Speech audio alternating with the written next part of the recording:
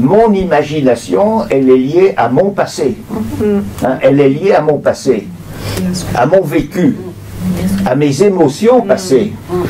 D'accord? Et c'est Cocteau qui disait, c'est elle qui m'a rappelé le nom tout à l'heure, peignez une rose et vous faites un autoportrait, c'est-à-dire vous vous peignez vous-même.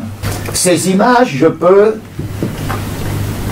y revenir, c'est-à-dire je peux les évoquer. Et une fois que j'évoque ces images, soit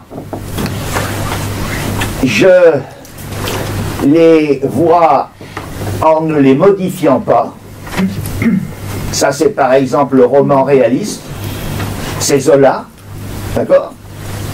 C'est-à-dire que je parle de ce que, de, de mes images telles qu'elles sont.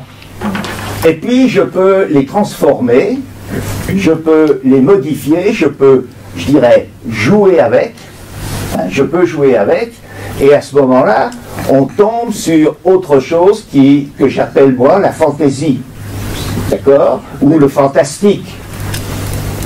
Mais c'est avec mon stock d'images mentales que j'ai acquis, que j'ai acquises, enfin les images que j'ai acquises en vivant, que je peux soit les considérer comme telles, soit les transformer. Ce qui nous intéresse, c'est que nous avons un stock d'images énorme.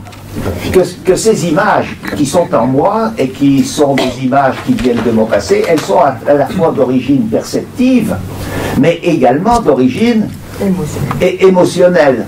Et comme je suis, ça a été dit par Suzanne Froid, un être intègre, je suis au contact de tout ça.